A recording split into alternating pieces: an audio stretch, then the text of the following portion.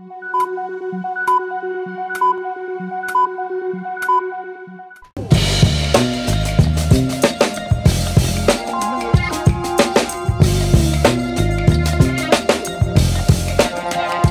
हसीना ने अपने हुस्न के जाल में मर्दों को फंसाकर उनकी प्रॉपर्टी और उनकी जायदाद लूट ली।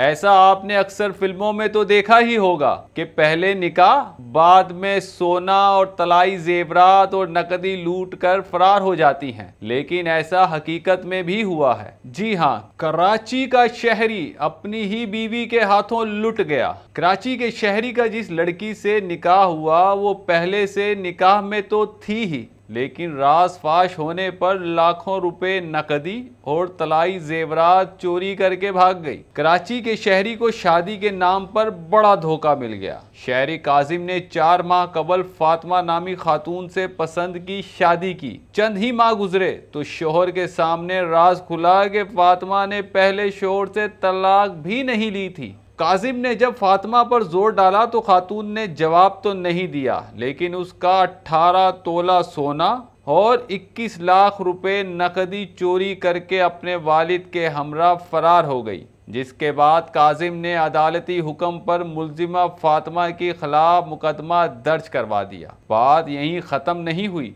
बल्कि मुलजिमा पर एक डकैती की वारदात का मुकदमा भी सामने आ गया। जिसमें उसने अपने साथी और पहले शोहर के मामू के साथ पीईसीएचएस में डकैती की। मुलजिमा इस वारदात के बाद गिरफ़्तार भी हुई थी। मुलजिमा ताहाल मफरूर है, जबकि काजिम का कहना था कि मुलजिमा के ज़िले के आला पुलिस अफसर से भी ताल्लुकात हैं, जिनकी बुनियाद पर उसने मुतद बार काजिम को धमकाया भी है।